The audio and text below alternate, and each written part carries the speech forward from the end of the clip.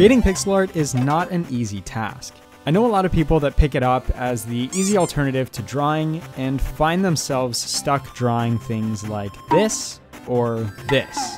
Well, if you are looking to improve your pixel art in just a few simple yet extremely valuable steps, you have come to the right place. If you don't know who I am or what I've done, I have been drawing pixel art and developing pixelated video games for almost five years now. I've created art ranging from video game assets to concept sketches, UI elements, landscapes, and so much more.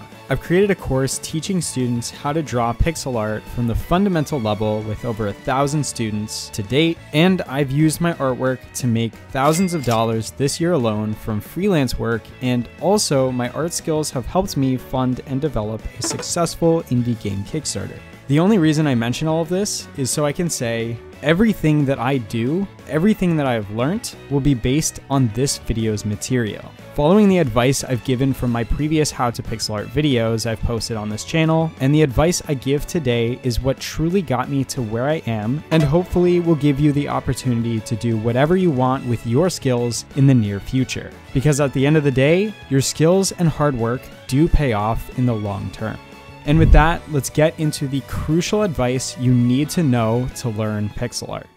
When you're starting a new skill, I find it most helpful to build from a foundation of skills and techniques that will guide you in the right direction. The first tip is about the way I see a lot of learning pixel artists attempt to draw. When creating pixel art, it is extremely handy to build a base, draw from a silhouette, and then fill out your drawing as you go. I see a lot of beginners draw with a black color to use as their outline and slowly add in colors and shading to create a finished piece. The reality is that when you're drawing pixel art, you want to sculpt, not draw. When you draw your image like a pencil on paper, you tend to break each piece of your artwork into segments, where to create a more realistic 3D viewpoint, you will usually have tons of overlap on your piece. An arm crossing the chest or a leg on top of another leg is just a quick example of this.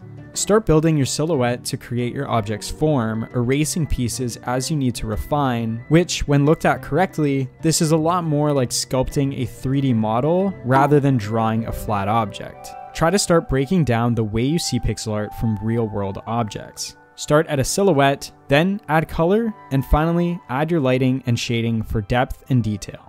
Now, expanding on this idea, we can talk about another crucial step to fixing your pixel art and becoming more consistent in your work. We will now discuss the importance of defining a light source. When creating art from single objects, characters, scenes, and landscapes, the first thing I think about after getting a basic structure of my object is where my lighting in my scene will be set. In landscapes, I can usually create some kind of sun or light source directly built into the scene, which I can then refer to throughout all of my objects. The point is to remember we need consistency to emulate a realistic recreation in whatever art style we are working in. Art, at the end of the day, is mainly a recreation of what we know from the real world projected from a new perspective. Not always, but that's a general good rule to follow. Now, going back to actually defining a light source. When we are looking at singular objects or characters, I will try to plan out a light source that will emphasize my object's depth. Usually this is done by creating an imaginary light from the top right or top left corner of my piece. However, depending on what kind of object or the orientation, you can sometimes find shadows directly facing a direction like right above or even below the object in some cases. Whatever you decide, just try to stay consistent between related objects. For example, I am currently creating an open world monster catcher RPG game, Monster Tribe, and I have decided to create all of my monsters and resources from a top right light source to have a more consistent style in my work. The reason I'm doing this is all of the artwork is still being used in a singular project, so it creates a more consistent style for the game, even though I'm using different sized resolutions for the items compared to the monsters. The next tip I'd like to get into is making sure you start simple before overcomplicating your workload. What I mean by this is try to stick to one or two very basic pixel art styles that make sense to you before trying to create every different type of pixel art you've seen from your favorite indie games.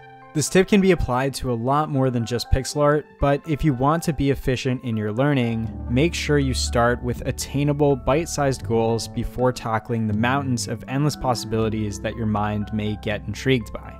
build a foundation of easy to grasp fundamentals first, like what programs you should use to create pixel art efficiently, how to outline objects properly, or how to create eye catching colors. P.S. If you want to learn more about those specific topics and many more, I have already created two other pixel art beginner friendly guides, so I will link them in the description for you to watch after this guide video. Those two cover a lot more general advice, whereas this one is going over the huge building blocks to get your foundation set up. Make sure you use the resources out there to get a better idea of what you should be focusing on as a learning artist. Anyway, stick to simpler styles that lend well to being easy to create and build a foundation of techniques and rules so you can have your artwork looking consistent and professional. Don't try to overcomplicate your artwork with tons of different colors and shades to fool others into thinking your artwork is detailed. Simplify down to your basic colors and detailing, slowly adding in what is necessary to represent what you are trying to emulate. Pixel art is for the majority a cartoon like art style over focusing on realism. So play into this idea. Value every pixel placement and understand why you're introducing a new shade of color or why you are placing a pixel where you are. I find myself running this question over and over in my head as I create my art. Is this pixel adding value to my drawing? Do I need to add another shade or is it just gonna overcomplicate my drawing? When you're starting out, ask yourself tons of questions as you're creating your art. Even as an artist who gets paid thousands of dollars to create artwork, I am still constantly trying to question my own work to make sure I'm putting the best version of my creations out to the world that I can. No artist will ever be perfect, and every skill can always be improved on. Try to remember this when you're creating art and don't feel confident in your own work. When I was thinking of what the last tip of this video should be, I asked myself an important question. How is great art actually created and how can this technique be achieved? Well, after some deliberation on this idea of what creates amazing art, I realized my answer wasn't boiled down to a simple equation or rule or word of advice. To the majority of artists and clients I've worked with, the most important aspect of creating appealing art comes from creativity and passion. If you're watching this video, chances are you have a passion for pixel art, so good job. You're one foot in the right direction. However, how do you keep this passion alive? And what if you aren't a naturally creative person? These are not easy attributes to develop or something you can just obtain. However, there are ways to find inspiration, such as finding artists, games, or other media to influence your style, as well as sparking your creativity from restriction. A great example of this is joining art challenges to restrict what you can create and become creative out of the restrictions laid out. I used to partake in a fun event called Pixel Dailies over on Twitter, where every day artists are given a topic to create pixel art based on. I love seeing just how unique and creative other artists could get with these themes, and eventually I didn't need a crutch of creating based on prompts to make unique artwork. Make sure to enjoy the hobby of creating pixel art in the first place. Have fun with it, and try to think of this like most things as a journey rather than a destination. Well, that just about wraps up all of my crucial tips to direct developing artists down the right path. If you are looking for more useful materials, I have linked my previous two pixel art guide videos, which to date collectively have reached over 500,000 aspiring artists, and I recently released a course. If you want to learn how to create pixel art like I do for my video games and freelance work, make sure to check out the course in the description below. I've spent months creating this course with a very professional team, so just be aware that this is a quality project that I have put as much as I possibly can into. I love teaching people how to do things, and pixel art is no exception. I wish you the best of luck in creating some awesome pixel art, and I'll see you in the next video.